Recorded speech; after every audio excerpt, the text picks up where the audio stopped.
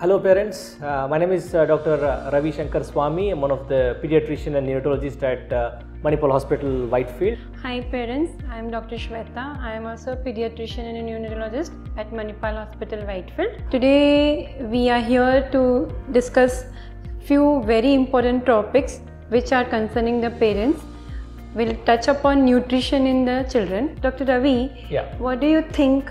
What is the status of the current nutrition status in India per se? Uh, interesting question, uh, Shweta. So, recent survey done by our uh, family health department does show that almost uh, 34 35% of our children uh, are uh, malnutrition. Whereas we also have another aspect of that which you can enlighten. If we see in the urban population, almost 20% of the children are into obesity zone these days. Don't you feel this is an epidemic for us? Correct. So we are seeing uh, uh, sort of a spectrum where some children are on malnutrition and some children are on obesity. So one size doesn't fit every patient. So how, how do you advise uh, patients when people come to you?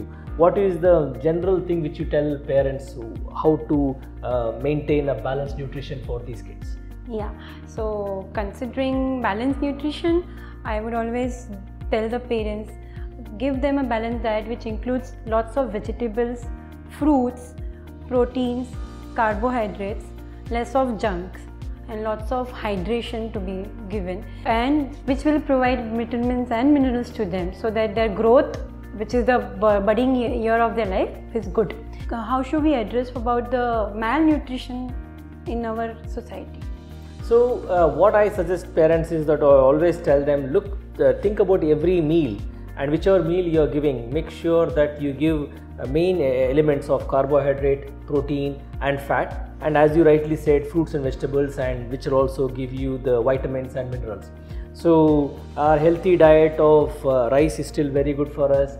Uh, anything with wheat, ragi, oats, that will be good and uh, proteins depending on if they're vegetarians then predominantly i go with uh, soya tofu and stuff. But if they're non-vegetarians then egg uh, chicken and fish and stuff. Similarly healthy fat as well. So i advise them and this combination make sure every meal has these elements. So that's how we try. But of course what do you think about the uh, junk food uh, going on at this point of time? Yeah. how to limit that? At this point, definitely, junk is the biggest hazard which we are seeing in these, children. So, I always tell parents avoid packed foods, avoid uh, junks or too much of cheese, uh, too much of eating outside, binge eating. Screen uh, with the screen time, the binge eating has added a lot of problems.